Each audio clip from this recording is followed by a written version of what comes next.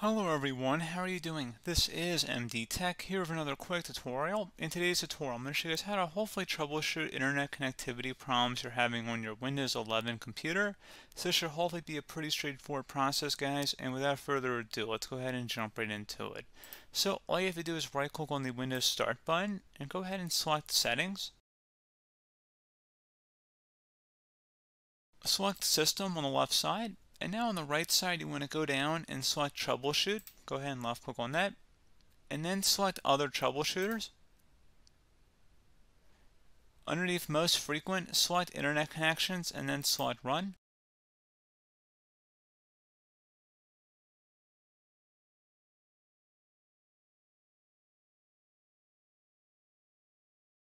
and then you can try and troubleshoot your connection to the internet. So let's go ahead and just do a sample one that I recommend here.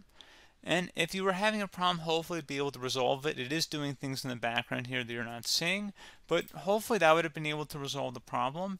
If you're still having an issue, you can go ahead and select the network and internet option on the left side. You can also search for it too in the search menu. And you want to select advanced network settings. Go ahead and left click on that.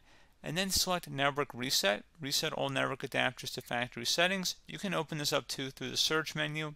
So go ahead and click on that. So this will remove and reinstall all of your network adapters and set other networking components back to their original settings. You might need to reinstall other networking software afterwards, such as VPN client software or virtual switches. Your PC will be restarted. Make sure you have your Wi-Fi code nearby if you're using a Wi-Fi connection because you will need to enter it back in once your computer restarts if you want to gain access back to the internet. So go ahead and select reset now. Are you sure you want to reset your network settings? Select yes. And now at this point, just save and close of any open programs and applications and go ahead and restart the system.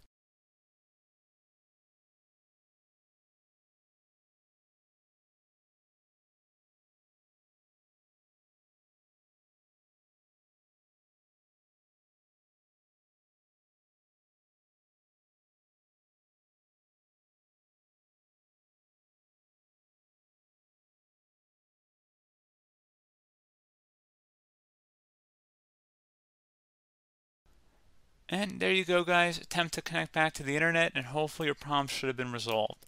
So as always, thank you guys for watching this brief tutorial. Do hope I was able to help you out and I do look forward to catching you all in the next tutorial.